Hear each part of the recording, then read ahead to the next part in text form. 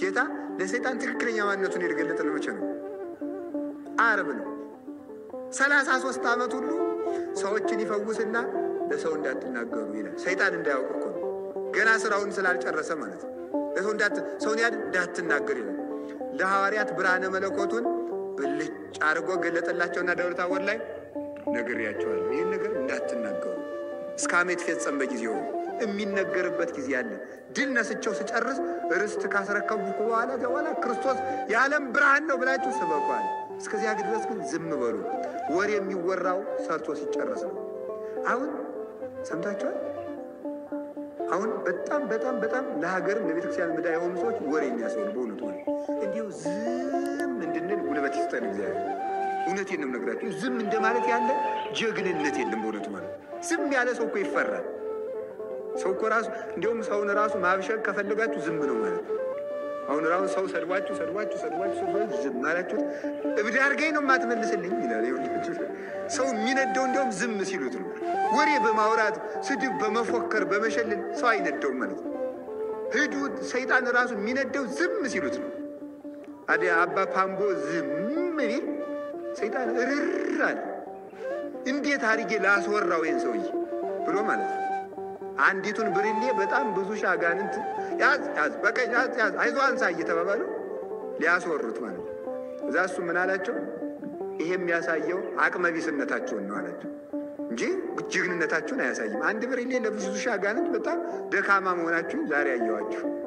አባ እንጦንስንም ከበዓቱ ለማስወጣት ብዙ አንበሳ፣ ብዙ እባብ፣ ብዙ ጊንጥ፣ ብዙ እንሽላሊት ብለው መስሎ ይሄድባቸዋል ተባታቸው ማለት ነው። ከዛ በኋላ በመጀመሪያው ቀን በድንጋይ ደብድበው ቀጥቅጠው ቀጥቅጠው ቀጥቅጠው ቀጥቅጠው አስተኝተውታል። ቁሞ መጸለይ አቅቶት ተንጋሎ ነው የሚጸልይ። መውጣት አቃቱ። ከዛ በኋላ እዚያ ተንጋሎ ከሚጸልይበት አንድ ሰው ተሸክሞ ወሰደው። ከዚያም ተመለሰ።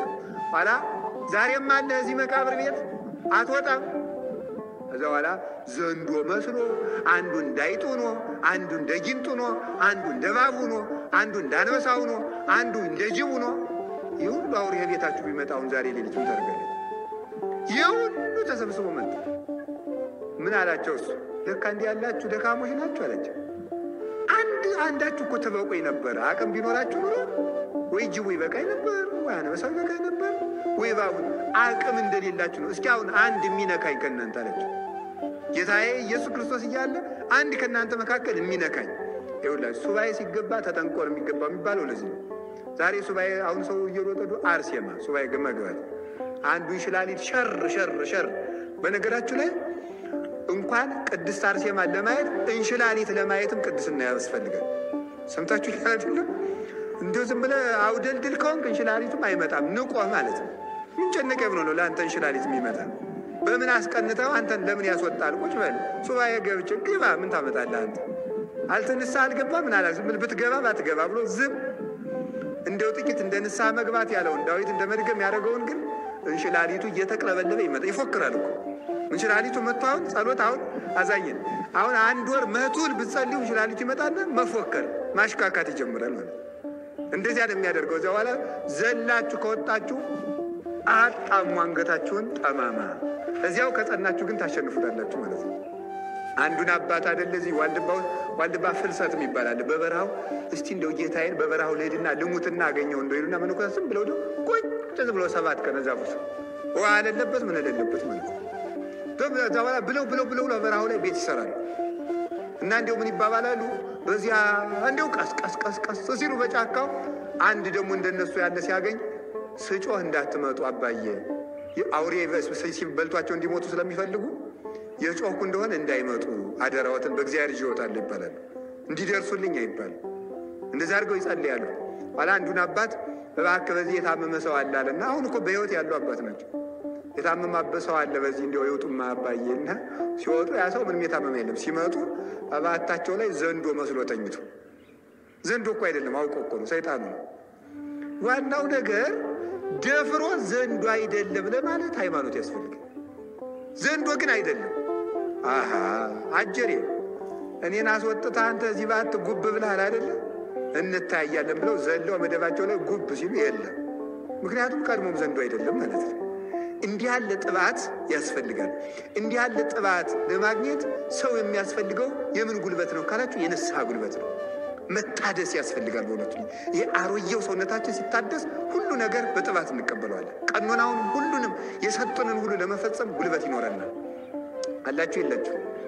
እግዚአብሔር ከሁላችን ጋር ይሁን።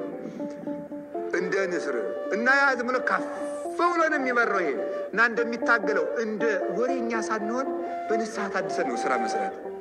ይሄ ጉንዳንም ከጨረሰ በኋላ ንስር ደግሞ ደስ የሚለው እላይ ወጥቶ ሞገዱን ይታገላል። ክርስቲያን በመከራ ደስ ይለዋል። መከራን የምንታገልበት ሰማያዊ ክንፍ ይሰጠናል። እንደገና ከመንስር ንስር ከፍ ብሎ እንዲበር ተመስጦ ይሰጠናል። አሁን ብዙ ጊዜ ብዙ ጊዜ ሁላችን ጸሎት ስጸልይ ስጸልይ ህሊናዬ አይሰበሰብም። እንደዚያ በዚህ ምክንያት ጸሎት እያቋረጥኩ ነው እንላለን። ስለዚህ አንዱ ሀሳባችን ከሚበትንብን ጉዳይ መካከል ንስሐ ለመግባታችን ነው። ምክንያቱም ንስሩ ክንፉ ሲያረጅ ከፍ ብሎ መብረር አይችልም። እዚቻ አካባቢ ነው የሚበረው። ሰው በንስሐ አካል ሲታደስለት ግን ከፍ ብሎ ይበራል። ሰው ንስሐ ካልገባ ምድራዊ ነገር ነው የሚያስበው እንጂ ሰማያዊ ነገር ማሰብ አይችልም። ስለዚህ ተመስጦ ማግኘት የሚቻለው ንስሐ በመግባት ስለሆነ ለተመስጦም ንስሐ ያገለግላል።